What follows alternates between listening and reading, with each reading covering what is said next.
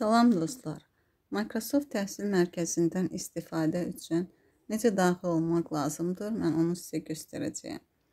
İlk olaraq brauzer seçilir. Seçilmiş brauzerə daxil olaraq resursun adını, yəni Education Microsoft Community və yaxud da Microsoft Education Center yazırsınız.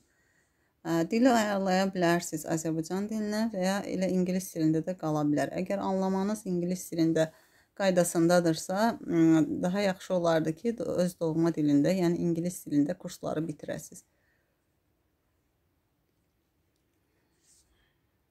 Daxil oluruq yuxarı sol küncdəki 3 xəttdən əvvəlcə öyrənmə yollarını seçirik və hər bir öyrənmə yolunun daxilində kurslar yerləşmişdir müvafiq olaraq. Windows-da daxil olarkən ə, üstdə olur həmin menyu, amma Android-də daxil olarkən smartfonla, yəni 3 xəttin daxilində gizlənir. Ə, öyrənmə yoluna daxil olduqdan sonra müvafiq öyrənmə yolunu, ehtiyacımız olan bir öyrənmə yolunu seçirik və ondan sonra ə, daxilindəki kursları bitiririk. Biz hal-hazırda nümunə üçün sizinlə öyrənmə yollarından birini açırıq. Misal üçün biz burada edə bilərik. Şagird mərkəzli öyrənmə yoluna baxaq. Görək burada neçə kurs vardır.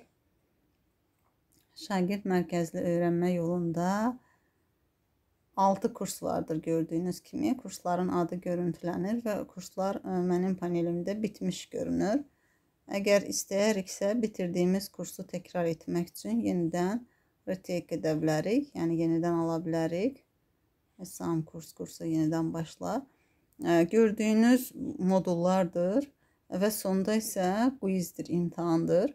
Hər bir modulda zəngin keçidlər vardır, hansı ki o sizi praktik işləməyə aparacaqdır. Və hər dəfə modulları bitirdikdən sonra növbətini vuraraq digər modula keçmək mümkündür. Mütləqdir ki, göstərilmiş modullar daxilindəki videoları açasınız və linklərə, yəni zəngin keçidlərə müraciət edəsiniz və bitirdikdən sonra modulları özünüzü hazır bildikdən sonra öyrəndiklərinizi imtahanla test edə bilərsiniz. Sualı oxuyursunuz və cavablandırırsınız. Bu şəkildə doğrudursa yaşıl olur, yanlışdırsa qırmızı olur. Və davam edirsiniz. Kursun sonunda əgər 80%-dən yuxarı nəticə göstərirsinizsə, kurs sertifikatını, bəcini qazanmış olursunuz. Bu şəkildə davam edərək öyrənmə yollarını bitirirsiniz və sonra isə Microsoft proqramlarına müraciət edə bilərsiniz. Təşəkkür edirəm diqqətiniz üçün.